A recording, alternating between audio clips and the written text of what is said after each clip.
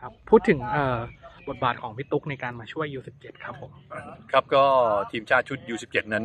เป็นโครงการระหว่างสมาคมฟุตบอลแห่งประเทศไทยนะครับกับฟีฟ่าคือโครงการทาเล่นไอดี ซึ่งตอนนี้ก็ได้ทำการคัดมาจากทั่วทั้งประเทศแล้ว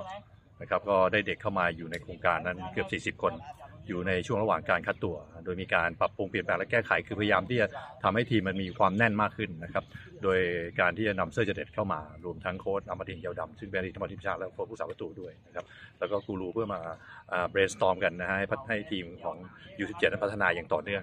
นะครับ เพื่อเป้าหมายคือว่าต้องไปฟุตบอลโลก U17 ให้ได้ที่ซาอุนะครับ ส่วนบทบาทหน้าที่ของฝ่ายเทคนิคแน่นอนฮะก็มีหน้าที่สนับสนุนส่งเสริมปรับปรุงแก้ไขแนะนำนะครับ แล้วก็ให้ข้อคิดต่างๆนะฮะเพื่อที่จะเตรียมแผนงานให้ดีที่สุด เป็นการสนับสนุนดังหลังบ้านให้กับโค้ชครับครับผมพูดถึงความสำคัญของทีมชาติ รุ่น U17 ซึ่งเป็นถือเป็นรุ่นแรกที่เป็นทีมชาติหน่อยครับพี่ทีมชาติ U17 นั้นสำคัญที่สุดเลยนะครับต้องบอกเลยว่าเพราะว่าจะเติบโตไปในภายภาคหน้าไปเล่น 19 ปี 20 ปี 21 ปี 23 ปีทีมชาติชุดใหญ่ฉะนั้นพื้นฐานวิธีคิดรูปแบบต่างๆ นั้น ถ้าเราหลงเลยหลงเลยหรือว่าละเลยไปเนี่ยมันจะทำให้ติดตัวไปแล้วการพัฒนาก็จะช้าลงฉะนั้นเนี่ยทางสมาคมฟุตบอลแห่งประเทศไทยภายใต้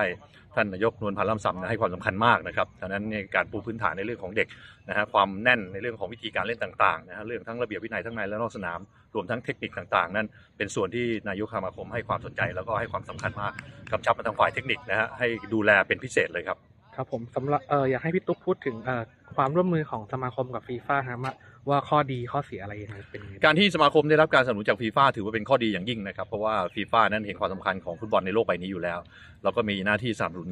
แน่นอนส่งเสริมต่างๆนะครับแล้วโดยเฉพาะมาสนับสนุนให้กับกิจกรรมฟุตบอลภายในประเทศของเรานะครับซึ่งเราสมาคมเนี่ยก็มีความหวังว่าและมีความยินดีเป็นอย่างยิ่งว่าฟีฟ่าคงจะสนับสนุนโครงการฟีฟ่าทาเลนในไอดีในปีต่อไปนะฮะนโยบายของฟีฟ่าเป็นสิ่งที่ดีนะเราก็พยายามที่จะเอามา